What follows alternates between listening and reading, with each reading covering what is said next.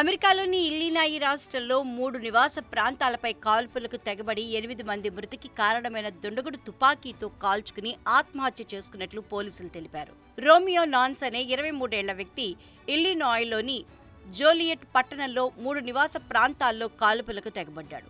ఒక కాల్పుల ఘటనకు సంబంధించి నిందితుడి కోసం వెతుకుతుండగా ఆది సోమవారాల్లో మూడు నివాసాల్లో ఎనిమిది మృతదేహాలు బయటపడ్డాయి.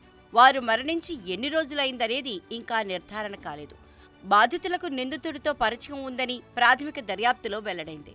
ఎరుపు రంగు కారులో నిందితుడు పరారీలో ఉన్నాడని ఆచూకీ తెలిస్తే చెప్పాలంటూ సోమవారం జోలియట్ పోలీసులు ఫేస్బుక్లో ప్రకటించారు.